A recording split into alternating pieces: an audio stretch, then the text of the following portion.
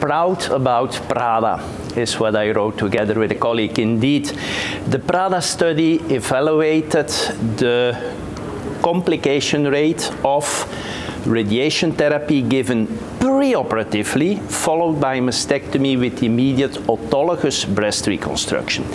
This is a kind of feasibility trial. It uh, included only a little bit more than 30 patients, 32 or 33. Uh, that's not of importance, but they confirmed that it is a feasible approach.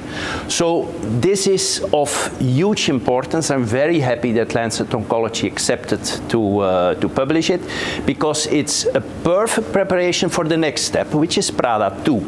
We're now working in a big group and I contribute to that, I'm happy, uh, to have have this evaluated prospectively, randomized, and also for um, not only for autologous but also for implant-based uh, breast reconstruction.